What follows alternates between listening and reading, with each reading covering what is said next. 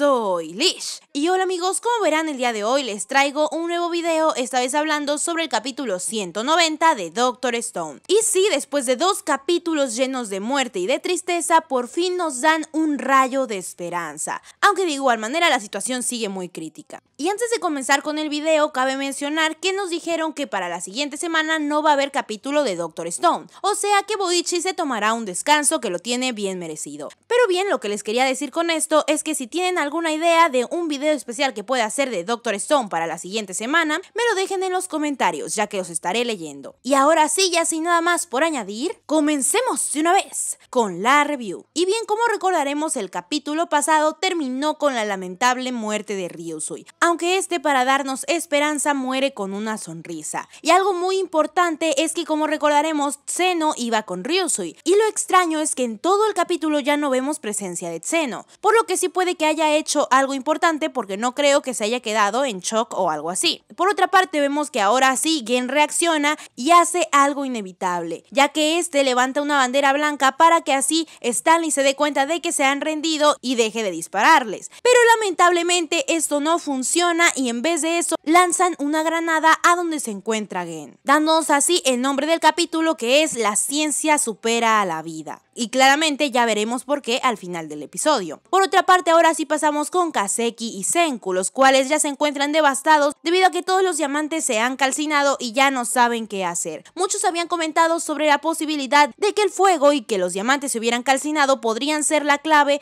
para que así lograran completar el dispositivo petrificador. Pero vemos que realmente esto posiblemente ya no sea verdad y que no va a haber una conveniencia tan grande. Y es así como empezamos a tener un momento desgarrador en donde vemos cómo es que Kaseki comienza a lamentarse, ya que dice que al final no ha podido hacer nada y que después de todo lo que trabajaron con los diamantes, después de todo lo que planearon, las medusas seguirán siendo del hombre del guay, terminando con la frase de que al final no pudo dar un paso hacia el futuro. Pero antes de que pierda toda la esperanza llega Chrome diciéndole que él no opina lo mismo y que realmente su esfuerzo sí ha valido la pena, sorprendiéndolos ya que han recibido una llamada. Y sí, como muchos esperaban, esta llamada es de Joel debido a que por fin ha logrado completar a la medusa. Y de hecho se nos muestra cómo es que para hacer una prueba con esta y ver si realmente funciona, se sirve una copa de vino para disimular la explosión. Y de hecho solamente la hace expandirse 3 centímetros para comprobar con precisión si realmente sirve. Y es así como nos dice que lo ha conseguido. Una nueva ciencia del futuro que ni siquiera existía en el siglo XXI, ahora será de la humanidad para siempre. Además, una de las cosas importantes ahora es el cómo yo él consiguió armarla, debido a que él no sabía un punto muy importante, el cual era que las baterías tenían una pequeña exfoliación a la mitad. Es por esa razón que se les hace raro que él haya sabido esta información. Pero se nos revela cómo es que François intervino en esto, debido a que en el momento en que Ginrow distrae a todos, derribando a varios militares y al final siendo disparado por Stanley, François aprovechó la distracción para llamar a la base de Estados Unidos y decirles que se habían separado en dos equipos. Y obviamente esa información para ellos no tendría mucho sentido, por lo que significaría que sin duda esto es un mensaje oculto. Y es así como se nos termina por revelar una utilidad más del reloj de Joel, ya que este puede detectar las ondas de radio y con esto pasar los mensajes algo así como en código Morse, demostrándonos que sin duda Joel es un crack. Mozo es el que nos menciona que ese reloj funciona similar al arete que le dieron en la isla del Soyuz. Y muy bien, con esta información es como Joel se pregunta para qué la enviaron, y que probablemente se trate de un mensaje referido a la forma de pulir los diamantes, preguntándoles a los que se encuentran ahí si realmente en el equipo japonés tienen a un ingeniero profesional. Y obviamente es así como le revelan la existencia de Kaseki. Y ahora sí, por medio de esto se da cuenta del detalle que les faltaba, demostrándonos que gracias a Kaseki y a su investigación con los diamantes es como Joel logró completar a la medusa, por lo que fue una obra conjunta entre Joel y Kaseki por lo que al final de cuentas todo el esfuerzo que puso Kaseki en completar la medusa no ha sido en vano, y realmente sí fue de utilidad, teniendo así una escena realmente emotiva en donde Kaseki se encuentra llorando mientras dice qué cosa tan misteriosa. Aunque me muera o aunque lo haga cualquier persona, aún así la ciencia sobrevive a la propia vida y se acumula hacia el futuro. Pero antes de que puedan seguir la conversación aparece el Dr. Brody, el cual le quita rápidamente el dispositivo de petrificación a Joel, ya que si a pesar de que había intentado esconderlo dentro del vaso, aún así Brody se dio cuenta, por lo cual a pesar de que no lo rompió lo guarda rápidamente en un baúl cercano, debido a que para cualquiera esa ahora es un arma muy peligrosa. Pero ahora sí pasando otra vez con el equipo de Senku, los cuales comienzan a tener una conversación de cómo enviarle un mensaje a Joel, debido a que hasta ahora sabían que no será posible enviarles un mensaje debido a que el equipo de Stanley los escucharía, aunque es ahí en donde entra Gen, ya que les dicen que no hay manera de que ellos logren escucharlo debido a que no tienen un equipo de radio. Y por fin, aunque ya es algo tarde, Gen se da cuenta de que Tsukasa, Hyo y Kohaku realmente lograron hacer algo para ayudarles, debido a que a pesar de que habían perdido no se iban a ir sin haber logrado nada. Por otra parte, nos dice que el hecho de que Stanley ataque sin ninguna advertencia por radio e ignorando la bandera de rendición hace evidente que no pueden comunicarse, lo cual nos dice que no hay ningún problema con enviarle un mensaje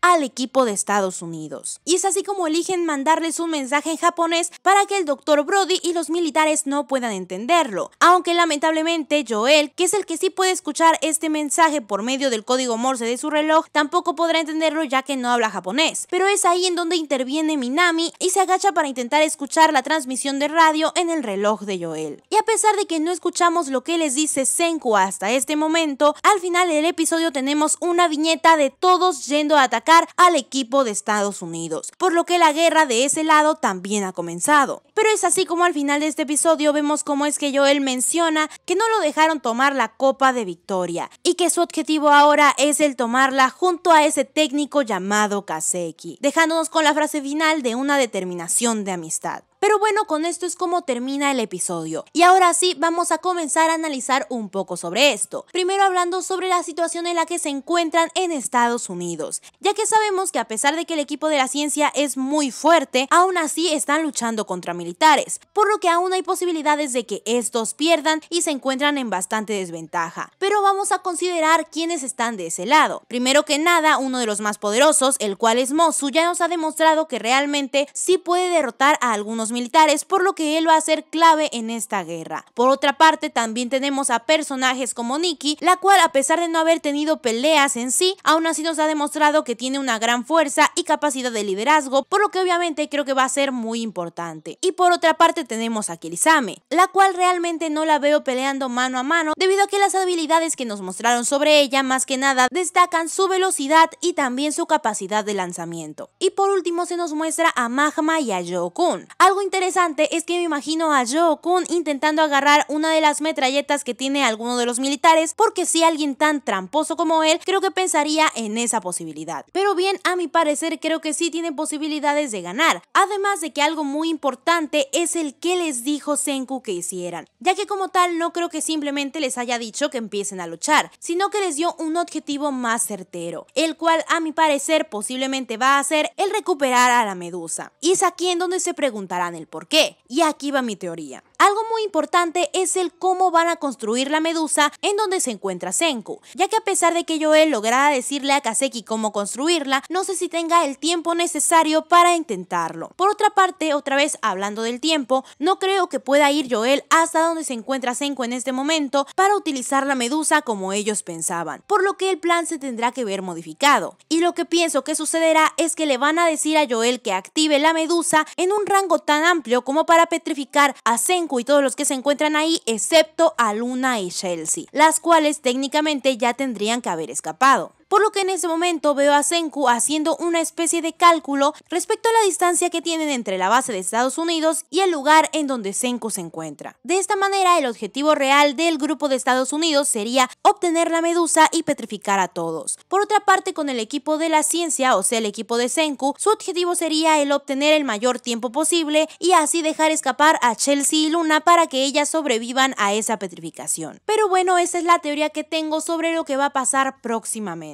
Y con esto ahora sí hemos terminado el video, por lo que espero que ustedes en los comentarios me dejen qué teorías tienen a raíz de todo esto y qué les parece la que les acabo de decir. Pero ahora sí, si les gustó, denle like y suscríbanse si no lo están para seguir viendo videos como este, además de compartirlo con sus amigos para que ellos también puedan disfrutar del video. Y antes de despedirme, muchas gracias a todos los miembros del canal por darnos tanto apoyo. Y muchas gracias a Luis Macosta, Oscar Haltrex, Paulex29, Ternity King, Rades Oades, Emerson Ventura, Lestad Almora y Bárbara Ninao. Y ahora sí, ya sin nada más por añadir, bye bye.